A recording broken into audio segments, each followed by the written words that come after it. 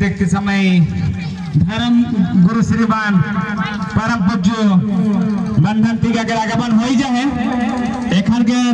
कार्यक्रम सारना प्रार्थना सभा शुरू होए से पहले मान्य धर्म गुरु के अगुवाई से हमरे मन प्रार्थना से शुभारंभ करब से कहा लगे सब मन खड़ा हो जाए